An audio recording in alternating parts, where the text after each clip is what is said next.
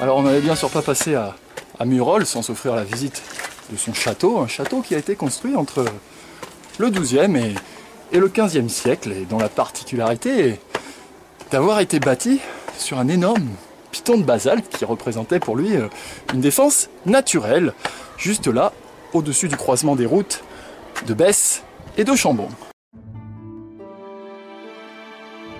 À cette époque de l'année, le château est souvent visité par les scolaires qui viennent y découvrir les détails de la vie au Moyen Âge. Bien, alors comme nous savons recevoir dignement, nous avons pris notre bain mensuel. Oui, parce qu'ici on est propre, on plaisante pas avec l'hygiène. Le grand moment, c'est évidemment la présentation des rapaces par le fauconnier. Elle, c'est une femelle, elle fait 2,5 kg, elle fait 1m80 virgule. Regardez un petit peu la taille de ses yeux. Hein. Pendant que les enfants sont occupés au spectacle, je pars seul visiter le reste du château. Le passionné d'histoire médiévale que je suis est en admiration devant cet étalage d'armes et d'armures dont le rôle m'est aimablement expliqué par un enregistrement audio.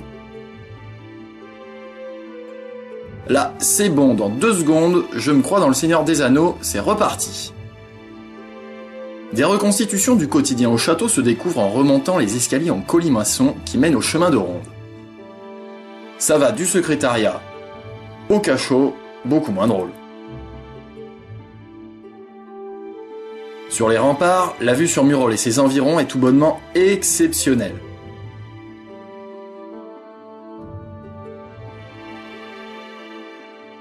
L'itinéraire des jours passés et à venir s'y dessine clairement, à commencer par le sommet du Sancy qui domine le lac de Chambon, notre prochaine destination.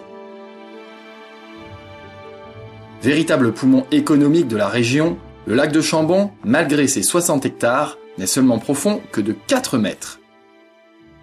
Pour en savoir un peu plus sur lui, nous avons rencontré Guillaume et Bernard, gardes nature au sein du parc naturel régional des volcans d'Auvergne. Ici, c'est donc ces mares dont on parle, quoi Ici, non, non, non, c'est un barrage volcanique. C'est dû à l'activité en côté aval hein, de la vallée, et qui, euh, donc là, c'est un volcan, c'est le Tartaret que vous voyez un peu plus loin, hein, qui a donc euh, comme de scories immense, hein, émis des, des quantités de matériaux expulsés et a donné naissance à un barrage, D'accord. qui en amont a formé le lac, hein, par toute l'accumulation de l'eau venant du massif du Sancy, hein, ce lac, euh, lac Chambon, on l'appelait le lac du Tartaret, puisqu'à l'origine, il allait jusqu'à 2 km dans la vallée.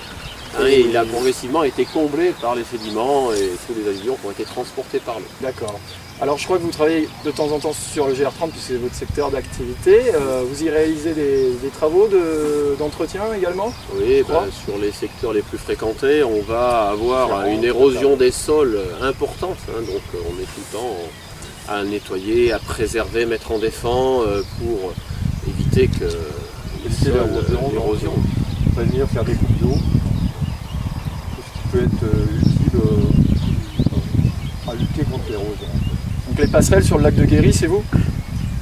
Oui, disons non, c'est pas nous, il y a une entreprise qui a fait ça, mais on, on participe justement à l'entretien. On veille à, à l'entretien hein, des secteurs les plus fréquentés, bien sûr, hein, les plus difficiles d'accès.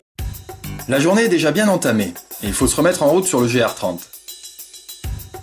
Après quelques erreurs d'aiguillage à la sortie de Murol, nous voici remontés sur les plateaux où nous sommes accueillis par une tempête annonciatrice d'orage pour la fin de la journée. Alors, on s'est fait cueillir par le vent à la sortie de la forêt Comment? Ah Je dis, on s'est fait cueillir par le vent à la sortie de la forêt Pas bien le temps de traîner à Courbange. L'orage se précipite par-dessus les crêtes du Sancy à une vitesse phénoménale. À ce stade, nous ne sommes pas encore bien sûrs de pouvoir lui échapper.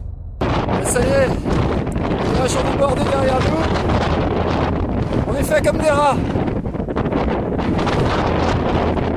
On va pourtant avoir une sacrée veine car le vent qui souffle comme un beau diable va réussir à disperser l'orage, du moins momentanément. Nous n'écoperons donc seulement que de quelques gouttes dérisoires tout en cherchant notre itinéraire toujours aussi paumatoire par endroits.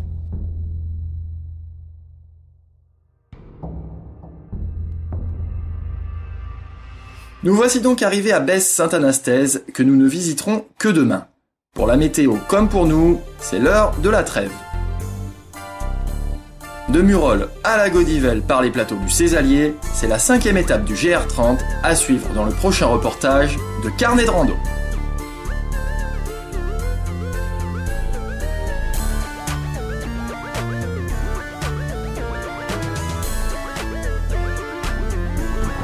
哈哈哈哈哈呼呼呼呼哈哈哈继续念